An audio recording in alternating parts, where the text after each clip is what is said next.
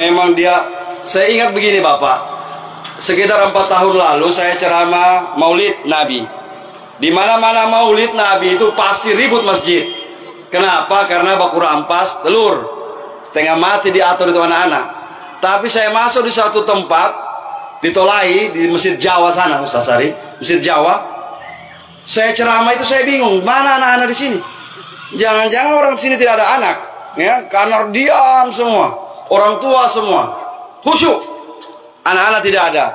Begitu habis ceramah, saya keluar buang ludah gitu. Saya lihat ada macam tanpa pampel bebe di sawah itu. nah, saya tengok, oh, di sini semua pasukan. Allahu Akbar. Baru dia punya guru di situ pegang rotan. Yang bersuara, dash, dash. Jadi ini perlu juga dipraktekkan, tapi jangan juga dikurung begitu. Orang kira bebe. Allahu Akbar. Ini kejadian nyata ini. Nanti saya keluar, aduh di sini, tak, di sini dia dikurung di dalam. Ya, alhamdulillah. Kalau ada nanti di buat khusus di masjid itu ruangan anak-anak. Ya, ruangan anak-anak untuk dorong supaya dorong betah di masjid. Kalau di Turki, bapak-bapak, ibu-ibu, sudah pernah ke Turki? Pernah? Belum? Sama. Saya. Cuma saya nonton di Turki, YouTube. Nah, di Turki itu ada satu ruangan, memang mainan anak-anak di situ. Ter agak terpisah dengan masjid, di situ ada ayun-ayunan, macam-macam, ya. Bukan kayak di Parigi sini. Kalau ada anak-anak di masjid, eh, eh, eh, eh, eh, diam, diam, diam. Jangan ribut, jangan ribut. Akhirnya Nabi oh, tobat saya ke masjid, dimarah-marah terus. Sekarang boleh kita praktekkan anak-anak itu dikasih betah di masjid. Kalau mereka bisa betah di mall, karena ada mainan di sana. Di Parigi sekarang lagi betah juga ada, ada apa namanya itu? Eh, hoya-hoya.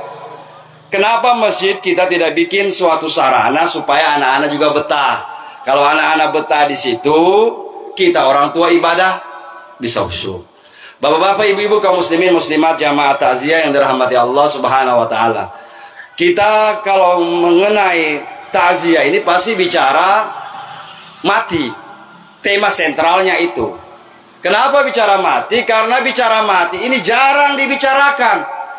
Saya mau tanya ibu-ibu, pernahkah ibu-ibu di rumah itu di teras ya dengan bapak sementara minum kopi, ibu minum kopi bicara mati? Jarang. Kalau ada subhanallah. Pasti yang dibicarakan kehidupan. Ya. Besok apa lagi? Ya. Besok berapa untung? Berapa tadi keuntungan? Berapa kerugian? Maka ketika ada takziah seperti ini, inilah saat yang tepat kita bicara mati. Karena mati itu pasti kita akan dapati. Cuma kadang-kadang mati itu kadang-kadang bah musim.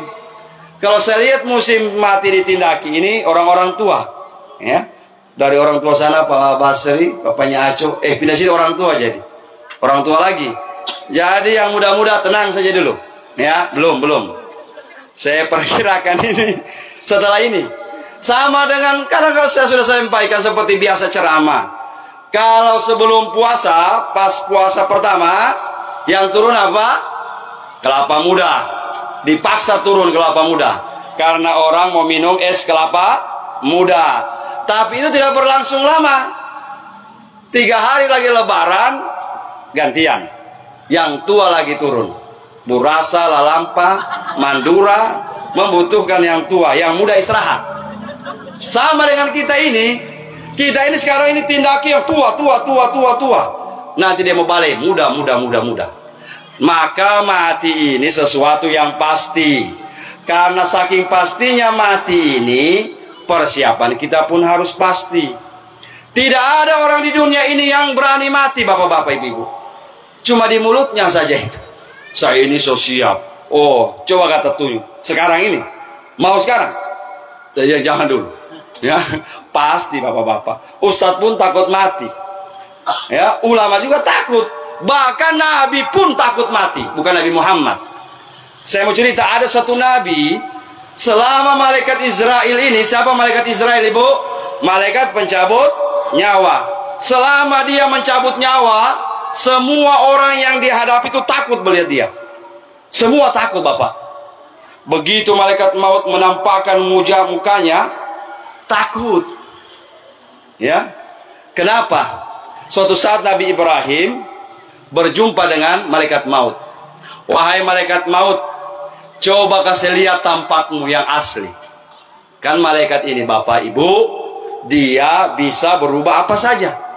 Bisa berubah apa saja. Tetapi cirinya malaikat itu satu. Ha, wal malak dalam kitab ya dalam beberapa kitab dikatakan wal malakul ladzi bila abin wa um. Malaikat itu tidak punya papa, tidak punya mama. Jadi malaikat itu tidak tidak di anak dia apa tidak punya orang tua. La akla la syurba wala naumalahum. Malaikat pun dia punya ciri-ciri malaikat itu la akla, tidak makan.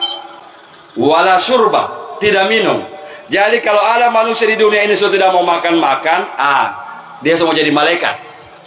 Makan, oh saya diet. Lama-lama karena terlalu banyak diet, jadi kurus. Penyakit muncul, ya maka malaikat itu wal malakul ladzi bila abin wa um la aklala syurba wala naumalahum dan malaikat itu pun tidak tidur jadi kalau ada manusia yang sudah tidak mau tidur lagi di dunia ini ah, dia sudah mau berubah menjadi malaikat padahal bu ini rumusnya dalam Al-Quran Allah subhanahu wa ta'ala jelaskan Waja'alna layla libasa Waja'alna nahara ma'asya Allah jadikan malam itu libas. Allah jadikan malam itu sebagai pakaian. Kalau namanya pakaian menutup diri. Jadi orang kalau malam urusannya sudah selesai, sudah habis sholat isya, habis sholat apa, habis makan, bincang-bincang sudah selesai, tidur. Kenapa? Jadikanlah malam sebagai pakaianmu dalam Al-Quran. Waja'alna nahara ma'asya dan jadikanlah siang itu sebagai kehidupanmu. Siang kita kerja, siang kita beraktivitas, siang kita berjalan. Ini yang benarnya. Cuma banyak sekarang ini orang balik bapak-bapak. Siang, malam dia begadang. Dia bagi begadang mulai jam 1 terus sampai dekat subuh. Tetapi siang dia tidur. Nah, inilah yang disebut dengan dalam bahasa sekarang ini dia sudah mirip kelelawar. Kelelawar itu bagaimana? Kelelawar itu siang tidur, malam bergerak. Maka di mana-mana disampaikan, eh, kalau malam itu upayakan tidur. Kalau malam kita berjalan-jalan, dua saja itu. Kalau bukan orang bilang pancuri, orang bilang bapongko. Ah, kenapa ini orang ini jam 2 malam berjalan-jalan? Mencuri tahu dia ini? Oh, tidak mungkin dia mencuri. Nah, lanjut zaman sekarang ini Pak, makin hari makin kecil orang. Nabi Adam, sab'ina zira, 70 hasta Nabi Adam, bapak-bapak ibu-ibu. Nabi nenek moyang kita itu dia punya tinggi 70 hasta. Itu sekarang ini kalau dimeterkan ini Pak, 40 meter. Tak lewat pohon kalapa itu Nabi Adam punya tinggi. Jadi kalau ada cerita raksasa, kalau biasa kita cerita raksasa, itu benar memang ada di zaman dulu. Nabi Adam itu sab'ina ziraan, 70 hasta. Istrinya, istrinya lebih lebih kecil sedikit, Siti Hawa. Siti Hawa itu sekitar 30 meter tingginya. Jadi sekarang tidak usah minum obat tinggi badan. Ya, nanti di surga kita punya tinggi seperti itu juga. Ya. Kenapa? Karena kita akan kembali pada kejadian kita awal. Nabi Musa alaihissalam tinggi, besar tinggi. Tetapi Nabi Musa alaihissalam ketika didatangi oleh malaikat pencabut nyawa, dia tanya begini, kau datang untuk apa? Dia bilang, saya datang untuk mencabut nyawamu, wahai Musa. Seketika itu, Pak, dia angkat tangannya, ditempeleng itu malaikat pencabut nyawa, Pak. Satu-satunya manusia yang tempeleng, ini dalam bukan sejarah, bukan kisah dongeng. Ada dalam hadis Sahih Bukhari.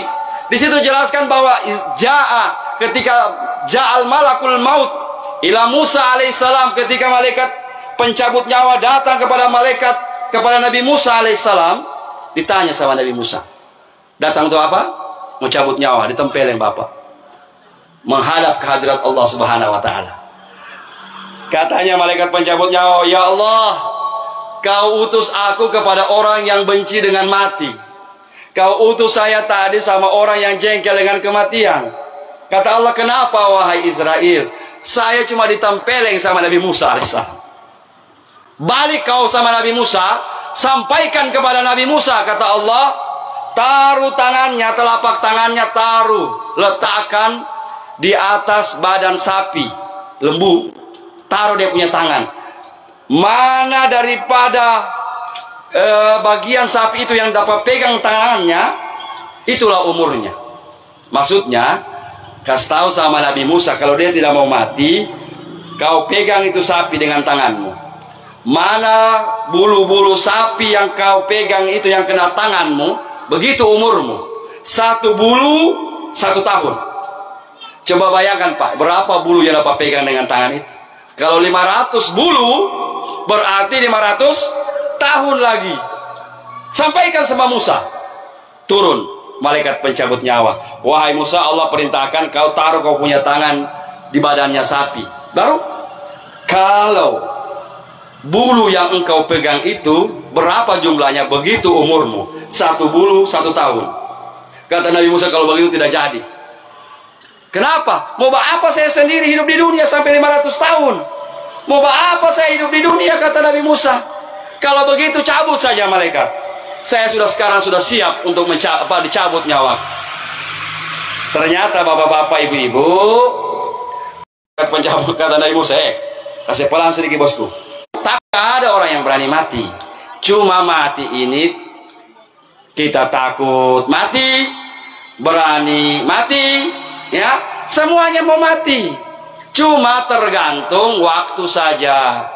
Maka kata Nabi Shallallahu Alaihi Wasallam berbekallah kalian tazawad bitakwa fa inna kala tadri berbekallah kalian dengan takwa karena kalian tidak tahu kapan kita akan meninggal dunia bapak-bapak ibu-ibu. Oleh karenanya di kesempatan takziah malam hari ini ingin saya sampaikan beberapa hal. Satu, peristiwa mati adalah peristiwa yang sangat dahsyat. Kita akan menghadapi berbagai macam cobaan mati. Ada beberapa periode Bapak, mungkin pernah saya sampaikan di tindaki ini atau sudah mungkin berulang. Sebelum namanya sakratul maut, ada namanya proses muntazar. Ibu, muntazar. Muntazar itu proses menunggu sakratul maut. Dua hari kadang-kadang itu. Makanya kalau ada orang sakit, sakit parah, harusnya kita lihat. Tanya sama orang tua, Om, kalau orang semua mati sakit itu bagaimana dia punya tanda-tanda? Dia sudah mau ajar itu. Kadang-kadang tandanya itu dia punya telinga sudah mulai kendur, hidungnya sudah mulai kempis, kemudian dia punya napas itu sudah lebih banyak ke atas, dia tarik atas daripada turun. Itu tanda-tanda orang sudah mau mati. Tak lama lagi dia sudah akan pergi. Lebih banyak tidur. Secara medis, dokter juga mengatakan, kalau ada orang sakit sudah semakin banyak dia tidur, berarti oksigen dalam tubuhnya itu sudah mulai berkurang. Maka kalau kita punya orang tua atau ada yang sakit dia tiba-tiba dia tidur terus, waspada bapak-bapak ibu-ibu. Tak lama lagi itu kadang-kadang. Ya. Makanya kalau ada orang sakit sebangun, eh, eh, eh, yang, yang tidur, mau mati kau.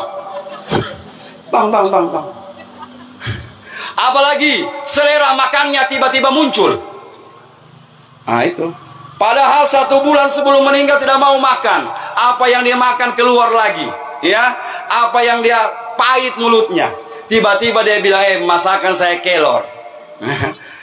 yang peto orang masih bilang, kasih tangkan kasih kantal, carikan saya suntung. Carikan saya udang. Yang dia suka-suka dia cari suruh cari itu Bapak. Berarti tidak lama lagi. Orang Manado bilang babungkus. Kalau dia sudah minta itu, berarti tidak lama lagi. Maka ada proses muntazar. Proses muntazar itu tanya sama dia. Pertama yang ditanya. Pak, kalau dia suami, Papa, Papa pak utang? Tanya. Ada utangnya Papa? Dia bilang ada. Di mana utang? Tulis sama sini sekian sama ini sekian. Perlu ditanya. Kalau istri kita yang memenangi, apa mau meninggal, tanya, eh mama, kau bak eo eo, bak arisan, hmm, di mana bak arisan? Bayeo-eo. Karena banyak sekarang ini begitu. Dia bayeo-eo itu hari-hari bacicil barang, miyako apa semua itu. Ya, cicil dispenser, dia tidak kasih tahu suaminya. Ya, baru dia bayar di rumah sebelah sana. Tapi bukan ibu-ibu sini. Ibu-ibu sini kayak semua.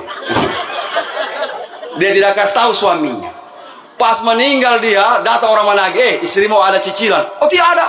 Saya tidak pernah lihat dia ban, padahal kasihan dia baca cicil sebelah. Ah ilah. Maka dikasih tahu, eh mengaku memang. Kau ada cicilan tidak? Hmm. Dia sudah tulis ini sekian. Itu yang pertama ditanya. Karena manusia meninggal karena ada utang bapak-bapak. La ilaha illallah. Suatu saat Nabi sholat sholat, sholat jenazah. Jenazah sudah di depan, takbir. Allah baru mau Allah Akbar turun Jibril ya Muhammad jangan sholatkan ini orang kenapa ya Rasulullah kenapa ya Jibril indahuddin dia ini punya utang. Nabi dilarang menyolatkan jenazah yang masih punya utang. Ketika itu Nabi mundur. Kata Nabi tidak jadi kita sholatkan menangis keluarganya. Ya Rasulullah kenapa ya Rasulullah? Tadi malaikat Jibril turun. Saya dilarang untuk menjadi imam menyolatkan ini jenazah. Karena dia punya utang. Maka kata keluarganya, ana ya Rasulullah. Saya yang jamin, solatkan saja. Setelah habis penguburan saya pergi bayar. Kau jamin betul? Saya jamin ya Rasulullah. Akhirnya Rasulullah solatkan. Begitu habis penguburan ini orang pergi bayar semua hutang saudaranya. Ketemu dengan Nabi, kau sudah bayar? Kau sudah bayar hutang saudaramu? Sudah ya Rasulullah. Seandainya ada orang meninggal kata Nabi, dia meninggal dunia tapi dia tidak meninggalkan harta hutangnya. Jadi kalau ada orang berutang tidak mampu dibayar, jual rumah. Kata Nabi begitu. Kenapa? Mati kudu juga. Baru banyak lagi utang. Allahu Akbar. Jadi bayar utang leh, bayar, bayar. Kalau dia hutang, oh saya tidak ada utang Ustaz. Iya, utang barang tiada. Paling banyak kita ini hutang janji. Hutang apa? Hutang janji. Maka anak-anak muda yang ada di belakang, saya sampaikan dari sekarang. Jangan coba-coba janji kawin cewek. Nah, tenang saja, nanti saya lamar kau. Eh? Kasih habis dulu kuliah, kasih habis dulu, kasih habis dulu panen, saya lamar. Tunggu, tunggu, tidak dilamar-lamar. Dora anggap, oh itu cuma cinta-cinta Ustaz. Kata Nabi, siapa seorang laki-laki yang mengucapkan ingin melamar, menghitbah seorang wanita, namun dia tidak jadi menghitbah itu, maka nanti di hari kiamat, laki-laki itu akan dimintai pertanggungjawaban yang paling berat.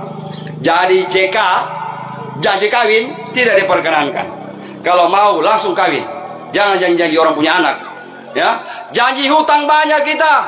Janji kata-kata banyak. Ya, oleh karenanya utang segera dilunasi. Itu proses muntazar. Proses kedua, sudah habis hutang diurus, tanya lagi. Eh, kamu ada musuh tidak? Kalau ada musuh mau diteleponakan. Eh, boleh kemari leh. Ini sama mati. Baku maaf sudah, ya. Karena banyak sekarang ini orang baku tidak omong. Ya, baku musuh Gara-gara apa? Tidak baku? Tegur, tidak baku omong. Apalagi, eh kenapa kata eh, Ada barangkali tidak baku omong sini. Nah, baku omong memang banyak ya. Kata Nabi, kamu ingin lihat, kamu ingin lihat. Ya, oleh karenanya baku omong jangan nanti mau mati. Baru baku omong ya. Insya Allah jangan ada musuh. Kemudian yang ketiga yang ingin disampaikan ketika muntazar itu bersiap-siap, bersiap-siap istighfar, istighfar. Bu, bu, ada namanya lakinu mautakum kalimatul la ilaha illallah. Talkinkan orang yang akan mati dengan kalimat la ilaha illallah. Ketika ada orang meninggal dunia, bisik di telinganya.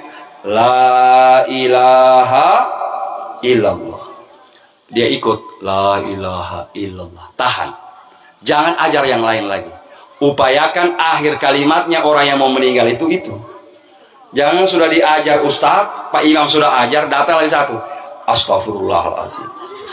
Datang lagi, subhanallah, alhamdulillah, wala ilah. Ini yang mau mati, aduh kacau saya ini. Mana yang mau dibaca ini? So kacau orang mati. Satu kali saja diajar. Tak usah lagi bapak pantau, piba ajar lagi. Kalau dia sudah ucapkan la ilaha illallah, itu tahan. Akhirnya bapak turun dia punya anak. Baru datang dari poso. Naik mikrolet, lari dia ke dalam. Langsung bisik di telinga. Orang kira mau la ilaha illallah. Dia bisik sama papanya, "Papa, satu pesan, pertahankan napas." Pertahankan papa. Jangan kasih. La ilaha illallah. Mau ditahan bagaimana ini napas? Pertahankan papa. Lawan dia, lawan. Bukan sakit ini mau dilawan. Kan begitu biasa. Ya? Kalau sakit, tahan papa. Istighfar, lawan penyakit. Tapi kalau orang semua mati, masa kamu bilang mau dilawan? Pertahankan. Pertahankan napas, Bapak. Bapaknya bilang, oh ini anak durhaka, anak durhaka.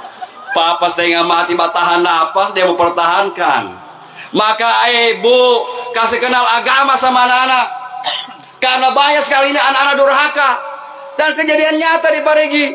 Begitu dia pergi masuk di rumah sakit, papanya sudah gawat. Orang bilang ke sana, cepat, papamu sudah gawat sana. Masuk dia di ruang apa? Ruang ICU. Ruang ICU itu pak, emak, semua ada semua salang-salang di mulu, itu sudah pernah semua lihat. Ada itu alat yang begini.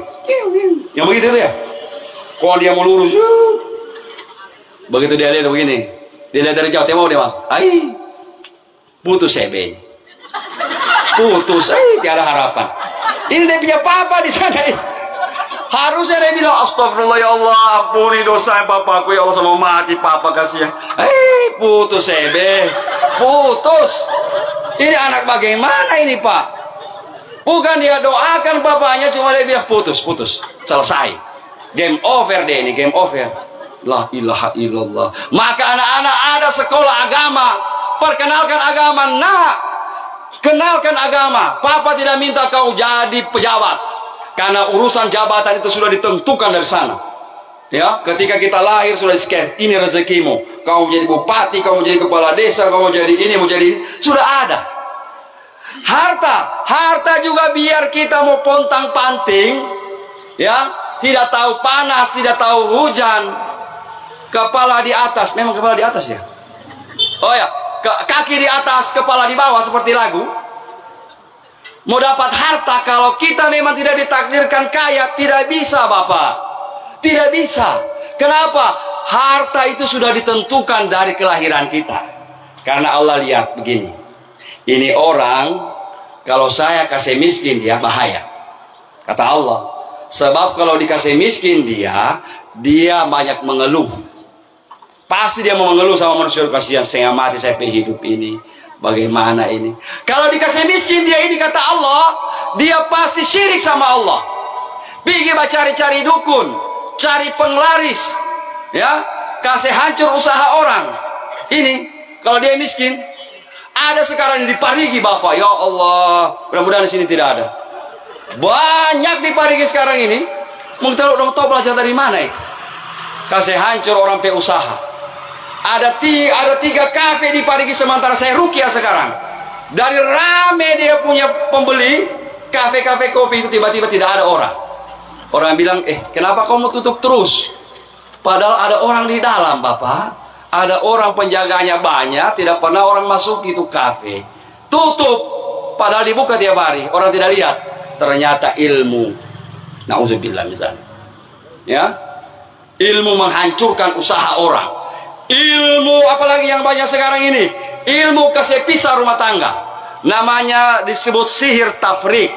Sihir tafrik itu sihir memisahkan rumah tangga. Ya, nauzubillah. Ini zaman sekarang ini. Kenapa? Karena persaingan. Kata Allah ini orang tidak bisa miskin. Maka saya kasih kaya dia.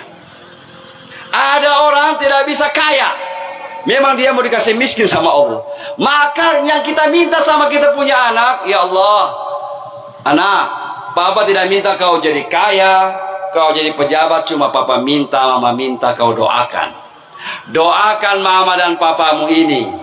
Ya, sekarang ini berbakti sama orang tua cuma andalkan doa. Rabbi gafirli wali wali daya warhamhuma kamara bayani sogira. Kalau cuma begini, anak TK bisa. Kita mau bakti sama orang tua, tapi modal doa terus. Rabbi gafirli wali wali daya warhamhuma. Anak TK bisa. Jadi bagaimana cara berbakti sekarang? Cara berbakti sama orang tua yang sudah meninggal, doa dan doi. Oh, ini sudah apa lagi doa dan doi? Maksudnya doi basumbang di masjid. Bilang niatkan untuk orang tua. Taruh celengan 50 ribu, 25 ribu kita, 25 ribu orang tua. Itu kalau 50 ribu celengan. Kalau celengan 1000, berarti 500-500. Ya Allah. Celengan lewat. Dia cari mana yang paling kecil. Hama. Tapi kalau ke mall, ke pasar, wah, yang merah keluar. Yang merah. Mana kita punya masjid di Indonesia ini setengah mati bangun. Baru ketika ada orang-orang di luar Islam, dia punya tempat apa namanya? Tempat ibadahnya bagus. Baru kita bilang, oh orang itu bantuan dari luar negeri. Tidak ada bantuan dari luar negeri. Dorang sendiri itu papa. Karena dorang punya ketetapan. PNS golongan dua sekian. PNS golongan tiga sekian. Coba kita. Coba dipraktek ditindaki ini. Saya yakin dan percaya tidak ada orang masuk masjid. tidak ada sunyi masjid. Kenapa? Hama dipaksa sana. PNS yang golongan tiga 500 ribu, 200 ribu per bulan. Sedangkan tidak dipaksa di situ Bapak. Tidak ada orang datang di masjid. Jarang. Tapi Alhamdulillah tindaki rame. Kalau di masjid lain. Apalagi kalau ditulis di muka masjid mulai Jumat ini celengan masjid harus 50 ribu ke atas. Coba tulis. Kalau insya Allah orang Jumat tinggal satu sah. Kenapa? Maka dibedakan itu. Dalam agama kita ini empat pak. Infak, zakat, sedekah. Infak, zakat, sedekah. Biasa disebut basis badan amil zakat, infak, dan sedekah. Apa itu zakat? Zakat itu ketentuan dari Allah. Wa aqimus sholat wa atuz zakat. Dirikanlah sholat, keluarkanlah zakat. Zakat dengan sholat itu Pak anak kembar. Setiap ada perintah sholat, pasti Allah kaitkan dengan perintah zakat. Kalau ada orang sholat, sholat, sholat, sholat terus, tidak pernah berzakat, tidak sempurna sholatnya. Ada orang zakat, zakat, zakat, bantu masjid, bantu pesantren, tidak pernah sholat. Tidak sempurna juga. Jadi kita sholat, kita juga zakat. Ada ketetapannya, ada haulnya, ada nisabnya, itu zakat. Itu orang paham semua. Yang kurang orang pahami infak dan sedekah. Ustadz mana itu infak, mana sedekah? Baik kita jelaskan. Kalau infak wa anfiku mimma razaqnakum min qabli ayyatiya ahadakumul maut fayaqul rabbi laula akhartani ila ajalin qarib fa asaddaqu wa minas salihin. Ada istilah infak. Infak itu Bapak Ibu adalah sesuatu yang dikeluarkan di jalan Allah, sesuatu yang dikeluarkan sesuai perintah Allah besarnya itu suka apa tidak suka, mau apa tidak suka, kasih keluar. Makanya dalam agama kita, coba lihat, coba periksa buku nikah. Periksa buku nikah semua. Apa tertulis itu? Seorang suami wajib memberi nafkah kepada istrinya. Bukan ditulis itu seorang suami wajib memberi sedekah kepada istri tapi infak memberi nafkah anfaka yunfiku nafkah maka jadinya bahasa Indonesia nafkah apa artinya? Suka apa tidak suka harus keluar. Kalau tidak suka istrimu oh saya tidak suka lagi dia Ustaz. Tapi masih istri toh? Masih kasih beras. Dan juga keras. Kasih nama masih istri. Eh itu itu 17 tahun ke atas ini. Ini tidak. Masih status istri. Dia sudah tidak suka istrinya, dia tidak kasih baras. Kenapa kau tidak biayai lagi istrimu? Saya tidak suka lagi, saya semua cerai itu. Kalau sudah putus, perceraian, baru berhenti. Begitu sudah putus pengadilan, ah sudah sah, sudah ada akte cerai. Nah, sekarang mulai sekarang saya tidak kasih lagi beras. Yang saya kasih, ya apalagi keras. Sedangkan beras tidak dikasih lagi. Cuma anakku saya kasih. Berapa banyak sekarang orang? Ya, punya anak dari istri pertama tapi dia tidak biayai. Ah, ini berdosa juga.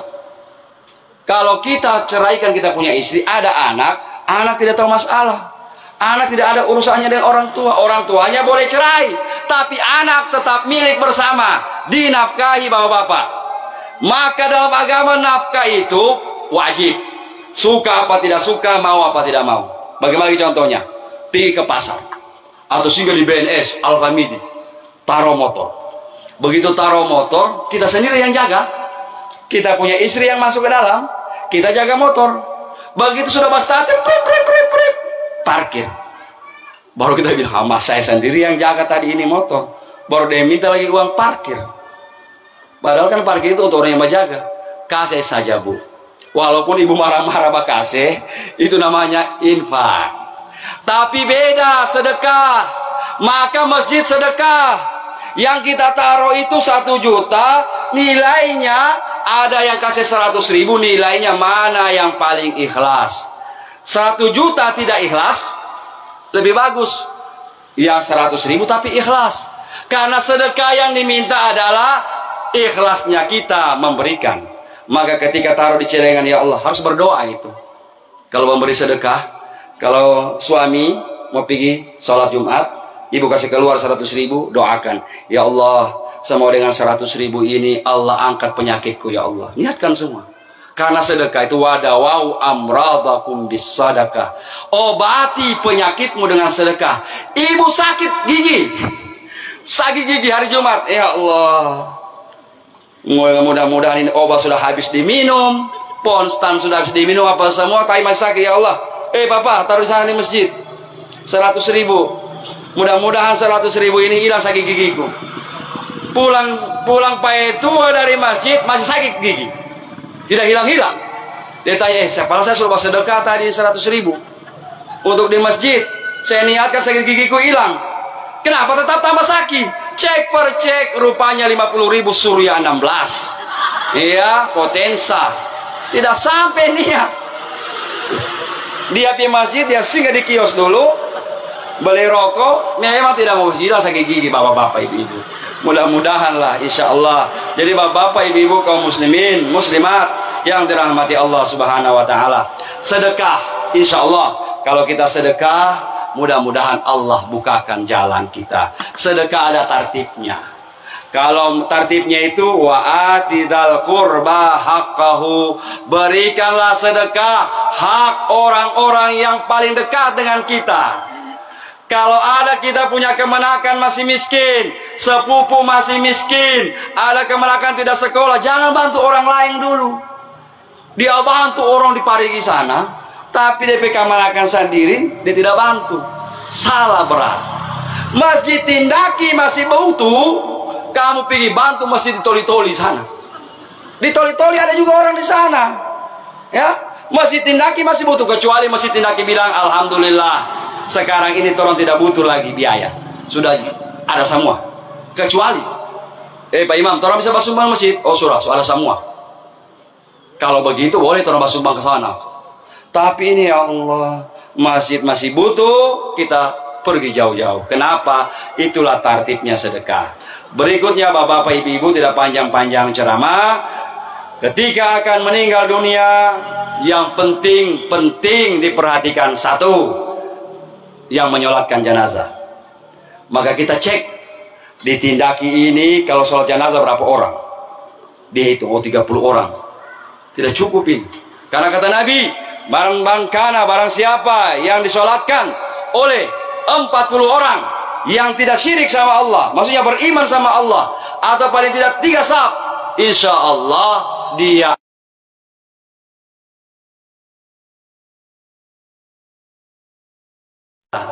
Maka ibu hukum fikih, kita bicara fikih sekarang. Dalam fikih Islam, sholat jenazah itu paling bagus di masjid.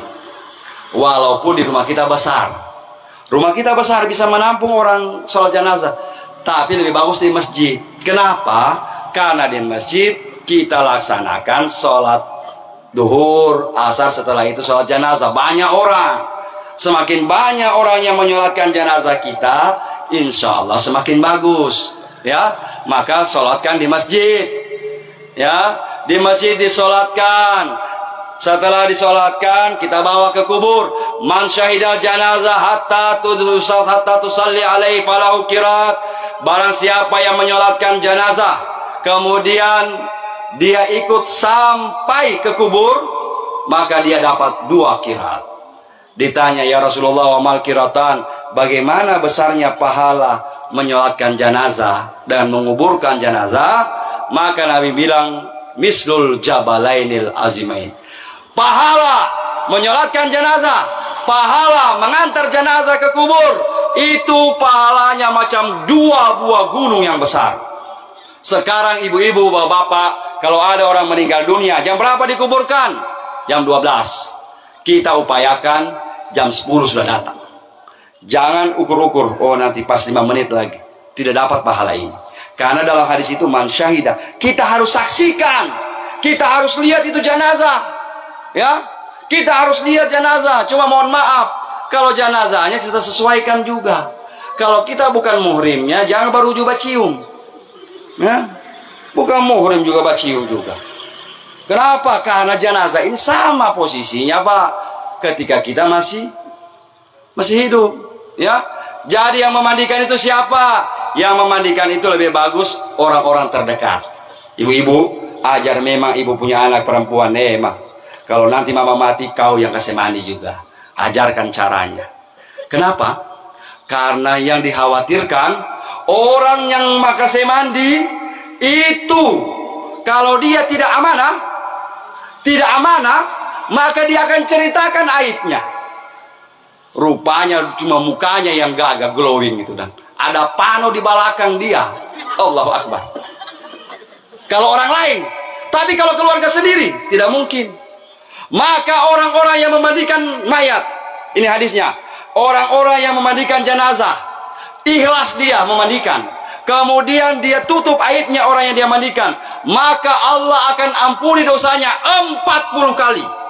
40 kali berbuat dosa Allah ampuni. 40 kali Pak jaminannya. Coba buka hadis. Jadi tidak gampang kasih mayat jenazah itu. Maka belajar apa kasih mandi. Kalau orang kasih mandi jenazah yang penting dia amanah, dia tidak ceritakan kejelekan orang yang meninggal. Allah arba'ina marratan. Allah ampuni dosanya 40 kali.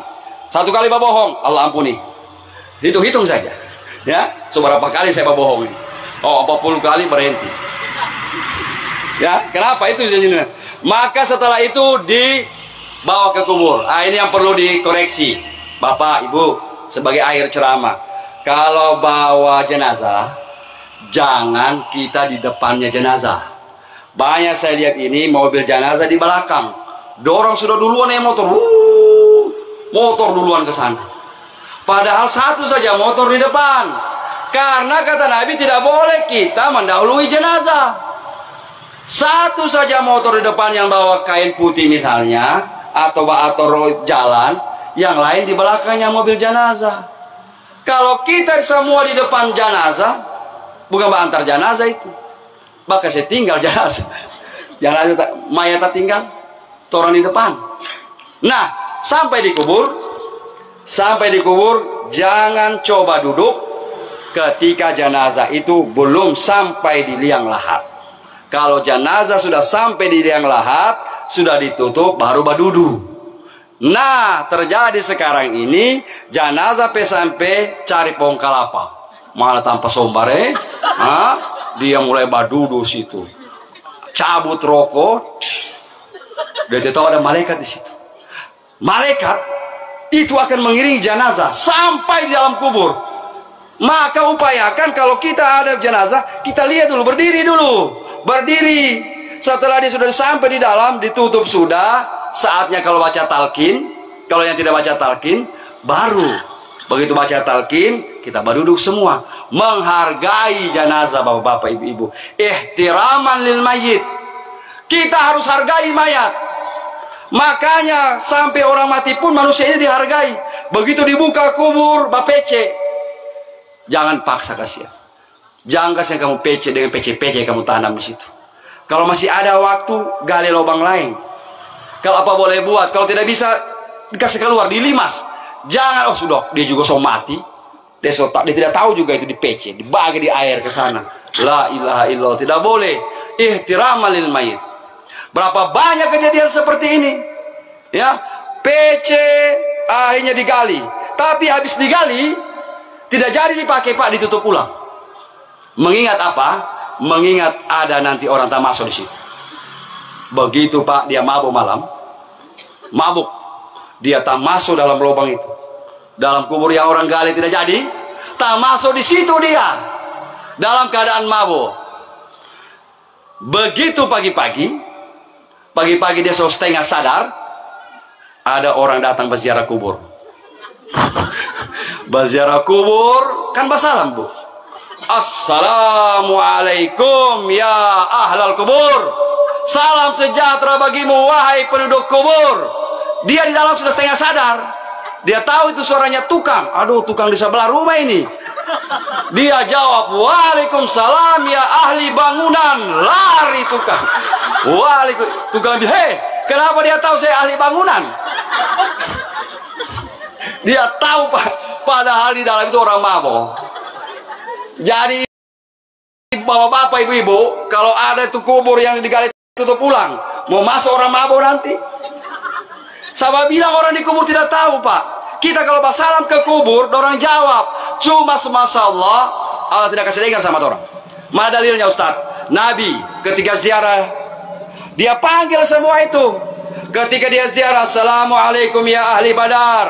Salam sejahtera bagimu wahai suhada Badar. Dia tanya, "Aina Abu Jahal?" Eh, mana Abu Jahal? Bersuara. Mana Abu Lahab? Kata Nabi, kata sahabat, "Ya Rasulullah, kau basalam di kubur tadi orang dengar." Dorang dengar, dorang bajawab. Cuma kita tidak bisa dengar, kamu tidak bisa dengar. Jadi sekarang kalau masuk ke kubur basalam, cuma jangan tunggu dia bajawab. Kalau tunggu dia bajawab, lari semua kamu. Assalamualaikum. Pas suara bapaknya, Waalaikumsalam anak durhaka. anak cilaka, saya mari. La ilaha illallah. Mudah-mudahan lah kita doakan almarhumah. Semoga almarhumah. Almarhumah. Apa almarhumah? Almarhumah itu artinya bahasa Arab orang yang dicintai Allah. Ini di Ebi sekarang ini biar pandeta mati almarhumah juga dia. Doyo Hei, almarhumah itu orang Islam punya. Ini orang Islam. Wih, pendeta meninggal. Mohon maaf ini. Dia terus, uh, almarhumah ini orang baik. Astagfirullahaladzim. Almarhumah itu orang yang dicintai Allah artinya. Jadi jangan dipakai sama orang lain. Kalau orang lain kita bilang saja, oh mendiang. Hah? Mendiang ini atau apalah bahasanya. Asal jangan almarhumah. Almarhum almarhumah itu kita orang Islam punya maka almarhumah ini semoga almarhumah ini oleh Allah Subhanahu wa taala usianya sudah tua Allah ampuni ampuni semua dosanya. Amin. Kalau seandainya ada salahnya hilapnya sama kita mudah-mudahan kita doakan kita ikhlaskan dalam hati ya. Semoga salahnya dia kita maafkan. Kalau begitu juga sebaliknya kalau ada kita punya utang sama almarhumah babilang juga sekarang ini orang yang mati terus dibilang, seandainya orang yang meninggal ini ada punya hutang, tolong sampaikan pada keluarga. Hanya kalau tidak dia jawab yang di sementara di dalam itu. Eh, saya tidak ada utang sama. Orang yang berutang sama saya banyak. Ya, jadi kalau ada kita punya utang sama almarhumah, sampaikan juga sama anak-anaknya. Jangan dikasih dia makan, ya. Mudah-mudahan dengan cara ini, insya Allah kita akan diridai Allah. Insya Allah, amin ya rabbal alamin. Kita tutup dengan Al-Fatihah ila hadratin Nabi Mustafa Rasulullah Muhammadin sallallahu alaihi wasallam khususan ila ruh almarhumah siapa tadi? Johora ala hadan niyah wa ala kulli niyatin salihah Al-Fatihah. Auzubillahi minasyaitonir rajim. Bismillahirrahmanirrahim. Ar-Rahmanir Rahim Maliki. Amin amin. Bismillahirrahmanirrahim. Allahumma salli ala sayyidina Muhammad fil awwalin wal akhirin. Salli wa sallim ala sayyidina Muhammad fil nabiyyin wal mursalin. Salli wa sallim ala sayyidina Muhammad fil malail ala ila yaumiddin. Allahumma fir laha warhamha wa'afiha wa'fu anha wa akrim nuzulaha wa simalaha Allahumma adhil fi kuburiha rauha wa rihan wal fusata wal aman wal afwa wa ridwan. Ya hanan ya manan ya man yaswil ata wa yastuinaan Rabbana atina fid dunya hasanah fil akhirati hasanah wa qina adzabannar wa adkhilna al jannata mal abrar ya aziz ya ghafar ya rabb